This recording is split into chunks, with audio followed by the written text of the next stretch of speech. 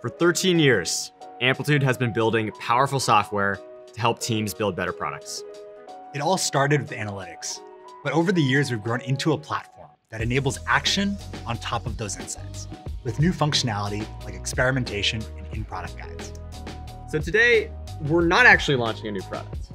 Instead, we're rewiring Amplitude from a tool you use into a team you lead.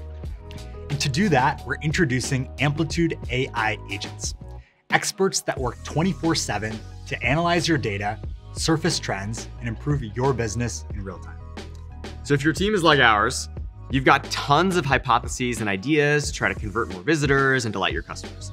The limiting factor is often time to chase them all down. And that's exactly why we're building agents. Think of agents as an extension of your team, ready to get to work.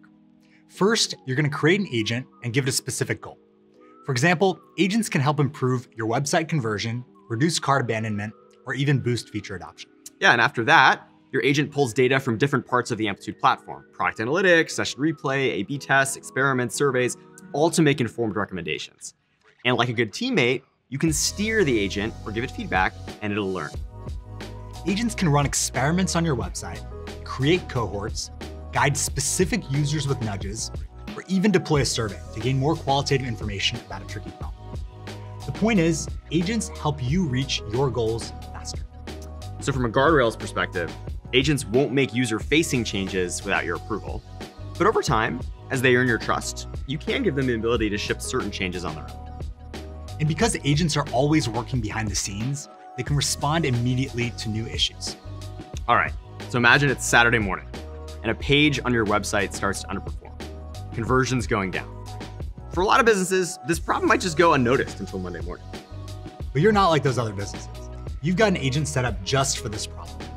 So when conversion starts to tank, your agent is going to quickly investigate the issue to figure out the root cause.